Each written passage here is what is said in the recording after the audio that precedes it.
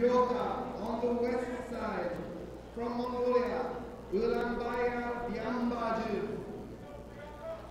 So now we are going to have final.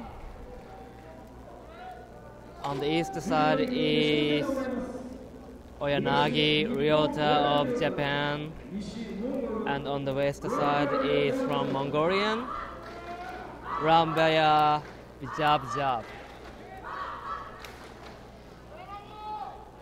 This is very interesting match.